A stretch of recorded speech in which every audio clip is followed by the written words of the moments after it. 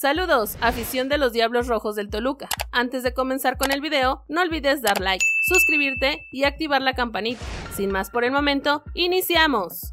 Y afición reclama a Volpi, descarta discusión con aficionado. Thiago Volpi aclaró la confusión que se vivió tras la eliminación del Toluca a costa del Herdiano en el Nemesio 10. En la primera ronda de la Copa de Campeones de CONCACAF, el portero se llevó el reproche por parte de algún sector de la afición. Que lo vengan a ver, que lo vengan a ver, eso no es un portero, es una... Fueron parte de los cánticos de la afición del Toluca hacia Volpi, quien se vio molesto por esta acción. En redes sociales, Thiago Volpi señaló que fue a las gradas del Nemesio 10 para regalar unos guantes a una niña y descartó haberse discutido con un aficionado. Fue el motivo por el que fue a las gradas al final del partido. Fue a regalar un par de guantes a una niña que lo había prometido desde el calentamiento. Nunca discutí con ningún aficionado del club. Critíquenme por lo deportivo, pero no por cosas que no son verdades. No me importa que me insulten, abuchen o me pongan como villano. Siempre seré agradecido y trataré de ser lo mejor posible a todos ustedes. Los voy a creer pase lo que pase. Publicó. Volpi ya tiene la experiencia suficiente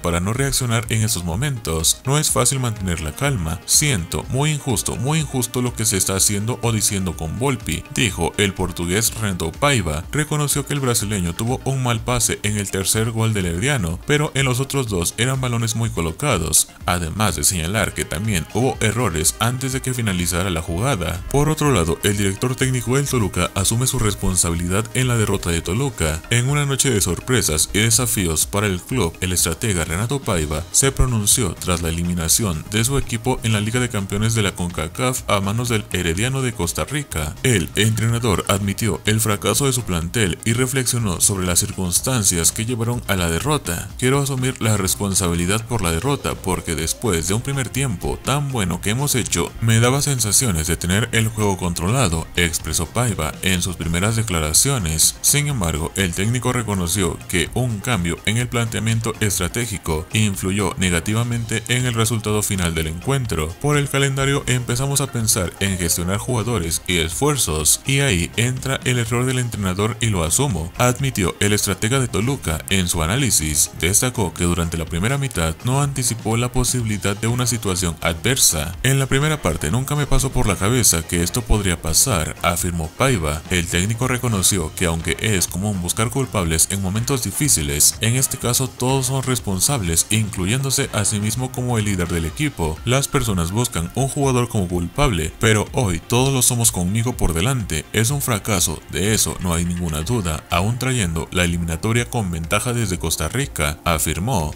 Ya por último, Piti Altamirano dejó dardo tras eliminar al Toluca con Herediano. Héctor Altamirano, mejor conocido como el Piti, estuvo en la última palabra luego de la hazaña del Herediano y el fracaso del Toluca con Renato Paiva en la CONCACAF Champions Cup el entrenador mexicano y su equipo lograron remontar a domicilio para acceder a los octavos de final del torneo, luego de algunas oportunidades en el fútbol mexicano con equipos como Celaya, Querétaro, Correcaminos y Cafetaleros. Emigró al balompié de Costa Rica. Ahora fue fundamental para uno de los resultados históricos en la justa continental, por lo que en la última palabra se cuestionaron sobre las oportunidades a directores técnicos extranjeros sobre los nacionales. Piti Altamirano habló en la última palabra sobre el accionar del Herediano tras caer en casa con un hombre expulsado y lo que le dijo al medio tiempo luego de verse abajo en el marcador global en una importante diferencia frente al Toluca a domicilio. Además fue contundente sobre las oportunidades de los entrenadores mexicanos en México. Soy un tipo que se ha preparado, que le gusta trabajar, agradecimiento a la gente de Herediano por la oportunidad, a Yafet Soto que confió en mí, en mi trabajo, yo me preparo todos los días. En la última palabra tundieron al Toluca y a Renato Paiva por el fracaso de CONCACAF tras caer eliminados en casa ante el herdiano del entrenador mexicano Piti Altamirano.